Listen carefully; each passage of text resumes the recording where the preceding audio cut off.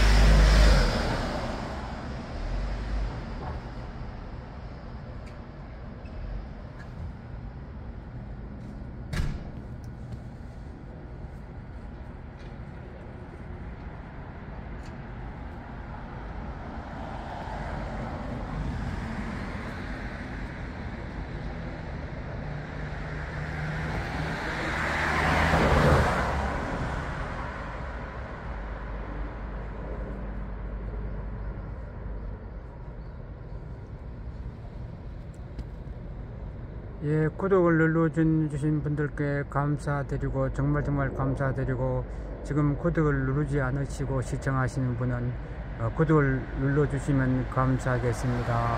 어, 구글에서는 이 구독수로서 어, 그 유튜브를 평가하기 때문입니다. 예, 감사합니다.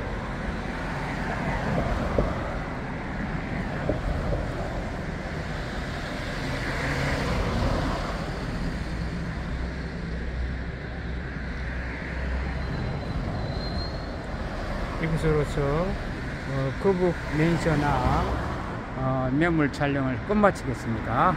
감사합니다.